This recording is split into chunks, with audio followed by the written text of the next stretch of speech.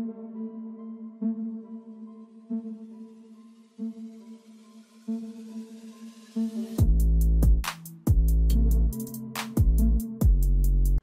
स्वागत है आपका आज की हमारी इस वीडियो में। दोस्तों, ऐसी खबर आ रही है कि डिफेंस मिनिस्ट्री ने ऑफिशियल्स को ऐसा आदेश दिया है कि फ्रांस के साथ जो जेट इंजन टॉक्स चल रही हैं, उनको एक महीने में पूरा किया जाए। यानी कि एक महीने में ही हमें फ्रांस के साथ एक फाइटर जेट इंजन की डील देखने को मिल सकती है। डिफेंस मिनिस्ट्री ने ऑफिशियल्स को बताया है कि वो फ्रांस के साथ मिलकर एक नए फाइटर जेट को को डेवलप करने की जो नेगोशिएशंस हैं, उन्हें एक ही महीने में पूरा कर लें। डिफेंस मिनिस्ट्री ने इसको इंडिया के एम्बिशंस को कंप्लीट करने के लिए एक की कंपोनेंट बताया है। आपको बता दें कि इससे पहले एक जेट इंजन को बनाने के लिए जो कोलेबोरेशन करना था, उसको लेकर बातचीत बहुत लंबे समय से चल रही थी और ये मामला काफ़ी समय से लटका हुआ था। इसका मेन कारण तो यही था कि इसकी रिसर्च एंड डेवलपमेंट कॉस्ट जो नए इंजन की होनी थी, उसको लेकर, उसकी फाइनेंसिंग को लेकर कुछ डिफरेंसेस थे। इंडिया को अभी एक 110 के एन के थ्रस्ट वाले इंजन की ज़रूरत है, जो कि advance medium combat aircraft M को पावर कर सके और हमारे दूसरे एयरक्राफ्ट को भी कवर को भी पावर कर सके। इंडिया फ्रांस के साथ बातचीत कर रहा था कि दोनों देश मिलकर एक नया इंजन डेवलप कर सके। पिछले साल दिसंबर में डिफेंस मिनिस्टर राजनाथ सिंह ने बताया था कि फ्रांस ने भारत के साथ मिलकर स्ट्रेटजिक पार्टनरशिप मॉडल के अंडर एक मिलिट्री इंजन को बनाने के लिए सहमति जताई है। एक नया फाइटर जेट इंजन कॉम्प्लेक्स बनाया जाएगा, जिसे डीआरडीओ स्पीयर हेड करेगा और उसके ऊपर काम चल रहा है।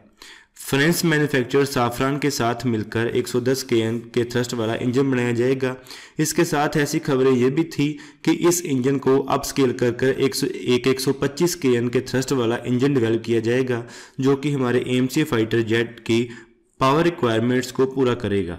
फ्रेंच इंजन मैन्युफैक्चरर साफरान ने कंप्लीट टेक्नोलॉजी ट्रांसफ़र को ऑफ़र किया है और इंजन को डेवलप करने में मदद करने का भी ऑफ़र किया है। इस मेरा फेल डील में बचे ऑफसेट क्रेडिट्स का इस्तेमाल किया जाएगा। डिटेल स्टडीज़ के बाद पता चला था कि इसमें से 250 मिलियन यूरोस ऑफसेट डील से आएँगे और उसके साथ ही जो बाकी बचे 500 मिलियन यूरोस होंगे, उसे गवर्नमेंट रेस करेगी। तो चलिए अभी जानते हैं कि एक 125 के एन के थ्रस्ट वाला इंजन कैसा होने वाला है और उसके बारे में डिटेल में जानते हैं। दोस्तों, आज की इस तारीख में भारत को किस चीज़ की सबसे ज़्यादा ज़रूरत है? भारत को ज़रूरत है सेल्फ रिलायंस की आत्मनिर्भर बनने की। हम हर क्षेत्र में आत्मनिर्भर बनना चाहते हैं और यही काम हम डिफेंस मैन्युफैक्चरिंग में भी करना चाहते हैं।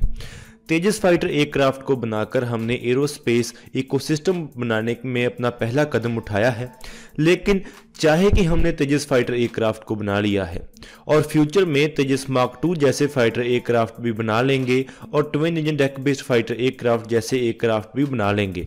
लेकिन एक कमी हम अभी तक दूर नहीं कर पाए हैं, वो है इंजन की। हमारे देश ने जो अभी तक इंजन बनाए हैं, वो इतने अप टू द मार्क नहीं है कि वो हमारे एयरक्राफ्ट को पावर कर सके। और हमें एक ऐसे इंजन की ज़रूरत है जो कि हमें आत्मनिर्भर बना सके। जैसा कि हम देख चुके हैं कि एक देश के ऊपर जब सैंक्शंस लगा दिए जाते हैं या दूसरे देश उसके विरुद्ध हो जाते हैं तो उसका क्या हाल होता है? उस देश की अर्थव्यवस्था पूरी तरह ख़त्म हो जाती है। और ऐसा ही अगर उस देश के खिलाफ युद्ध छेड़ दिया जाए तो वो युद्ध भी वो देश हार जाएगा, जो कि पूरी तरह आत्मनिर्भर नहीं होगा। तो इसलिए आज हम 125 के एम थर्स्ट क्लास वाले इंजन की बात करेंगे, जो कि स्खोई थर्टी एम के आई को भी पावर कर सकेगा। दोस्तों, जैसा कि हम जानते हैं कि जी टी आर ई और साफरान के बीच बातचीत चल रही है, जिसमें एक नया 110 के एन थ्रस्ट पावर वाला इंजन बनाया जाएगा, जो कि हमारे ए फाइटर एयरक्राफ्ट को पावर करेगा। ये एक M eighty eight four eco core का इस्तेमाल करेगा। एम एटी एट कोर वो कोर है, जो कि राफेल विमान के अंदर इस्तेमाल किया जाता है। इसी कोर के इस्तेमाल से भारत एक नया 110 के एन थ्रस्ट वाला इंजन बनाने वाला है, जिसमें 75 के एन का ड्राई थ्रस्ट होगा और 110 के एन का वेट थ्रस्ट होगा। ये 110 के एन की पावर वाला इंजन हमारे तेजस मार्क टू एयरक्राफ्ट को भी पावर कर सकेगा। Twin engine deck based fighter aircraft को भी पावर कर सकेगा और एम फाइटर जेट को भी पावर कर सकेगा। लेकिन इतनी पावर होने के बावजूद भी ये हमारे सुखोई थर्टी एम के फाइटर एयरक्राफ्ट को पावर नहीं कर पाएगा, जो कि हमारी इंडियन एयर फोर्स की बैकबोन है। और इसी कमी को दूर करने के लिए और सुखोई थर्टी एम के फाइटर एयरक्राफ्ट को सुपर सुखोई स्टैंडर्ड के ऊपर अपग्रेड करने के लिए हमें एक 125 के एन की पावर वाले इंजन की ज़रूरत है, जो कि हमें इस 110 के एन के इंजन को अपग्रेड कर कर या अप स्केल कर कर मिल सकता है। हम इस 110 के एन के पावर वाले इंजन को अप स्केल कर कर एक 125 के एन थर्स्ट क्लास का इंजन बना सकते हैं, जिससे कि हम हमारे सुखोई थर्टी एम के फाइटर एयर क्राफ्ट को पावर कर सकते हैं। हमारे सुखोई थर्टी एम के फाइटर एयर क्राफ्ट में अभी A L thirty one F P engine लगाया गया है, जो कि 122 के एन के करीब पावर जनरेट करता है। हम हमारे देश के 150 के करीब स्कोई थर्टी एम के फाइटर एयर क्राफ्ट को सुपर स्कोई स्टैंडर्ड के ऊपर अपग्रेड करना चाहते हैं।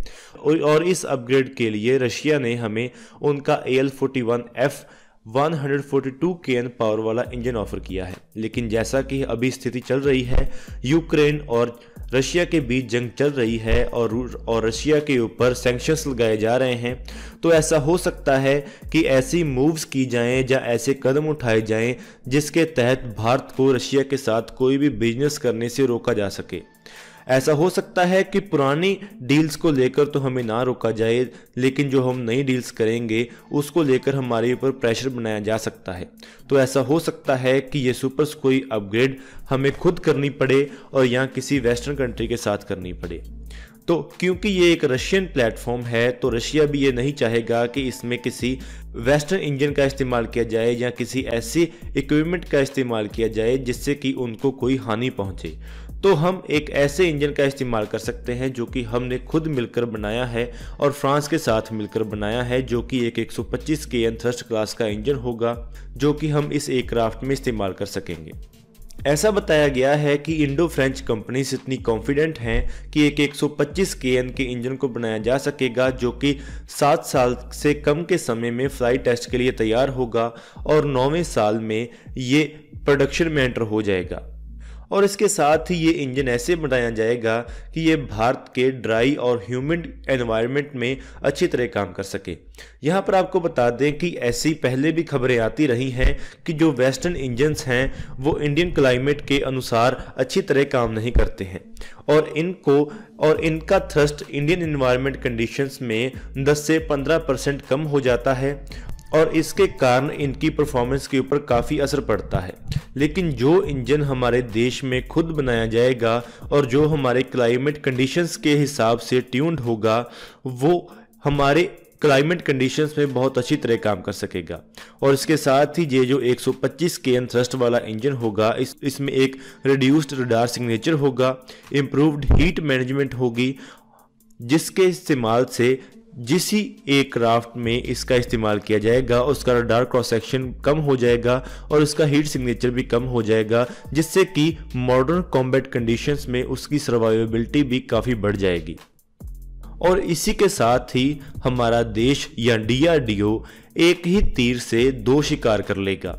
वो ऐसे कि हम एक इंजन तो डेवलप कर ही रहे हैं और इसके साथ ही साथ हम उसी इंजन को अपस्केल कर कर हमारे सभी फाइटर एयरक्राफ्ट में उसका इस्तेमाल कर सकते हैं और हर तरह से सेल्फ रिलायंट हो सकते हैं। तो इसीलिए ये प्रोजेक्ट हमारे लिए काफ़ी इम्पोर्टेंट होने वाला है।